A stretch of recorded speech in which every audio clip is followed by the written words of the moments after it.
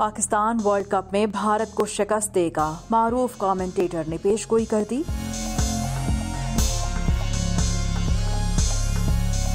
England के सबक cricketer और कमेंटेटर माइकल एथरटन ने पेशगोई की है कि पाकिस्तान रवा साल आईसीसी वर्ल्ड कप में भारत को शिकस्त से दो चार करेगा। हो सकता है कि दोनों टीमें सेमीफाइनल या फाइनल खेलती हुई भी दिखाई दें। ये टूर्नामेंट बाकी इवेंट से ज़्यादा सनसनीखेज होगा।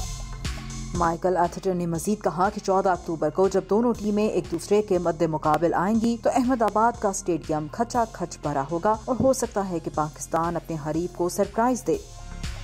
रिवायती हरीफ पाकिस्तान और भारत की टीमें वर्ल्ड कप मुकाबलों में सात बार एक दूसरे के मद्दे मुकाबल आई हैं, जहाँ भारत ने तमाम मैचेस में ग्रीन शर्ट्स को शिकस्त दी है, जबकि कौमी टीम आलमी मुकाबलों में पड़ोसियों के खिलाफ पहली फतह की मतलाशी है।